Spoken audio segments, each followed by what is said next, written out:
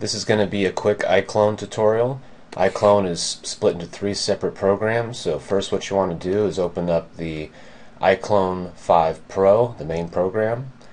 And first what you want to do is go up to Actor. You can import your own actors and everything, but we're just going to bring Chuck in here. So we got our guy. And now we want to go to Animation, Motion, and go to Device Mocap. Click on that and we have this little device console.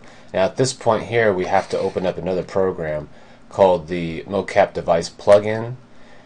And you download this separately. And you open this up and this allows you to actually uh, connect to your camera. And so here we are with our live feed of our Xbox Kinect. Now this is the 1.1 version. Uh, they do have a new version that's a little bit different but it's basically the same. In the new version, this body command function here is unchecked, uh, which is really strange. So you may have to click that. Make sure that's clicked. That basically makes it work.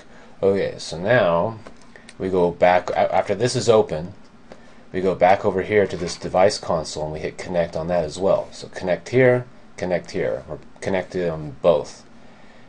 And now, all you got to do is walk in front of your camera, and then the rest of the controls are done through gestures. So I just walk in front of the camera. Oh, hold on, let me tilt my monitor so I can see. And we got a little guy there that shows up. So you just walk in front of it, kind of stand where you're supposed to stand. It counts down. And now if you want to record, you just move over to the little red thing here and now we're recording. And now you see the character is doing what I'm doing. So let's get in here a little bit. There we go. Yeah so now it's it's working. It's doing what it's supposed to do.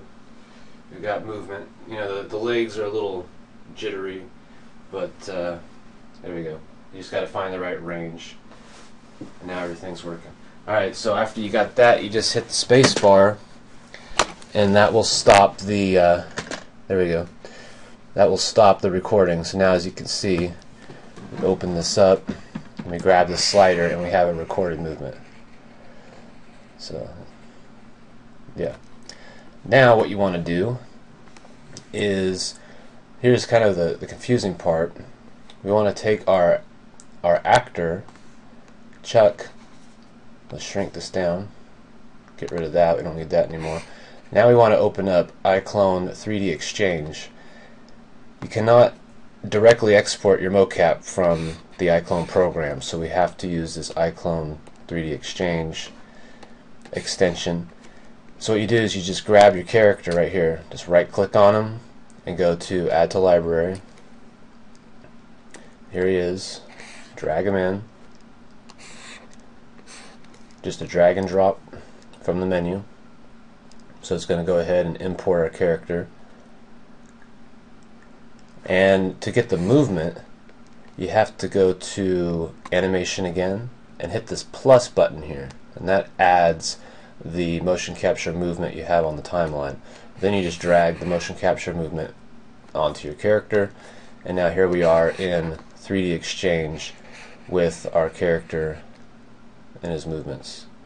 So now from here we can go ahead and we can export this as an OBJ, a BVH, FBX, whatever we want. So you just click on FBX and we have, have 3ds Max, Maya, everything you need. Here's all your options and this allows you to directly import your motion capture data into the 3D application of your choice.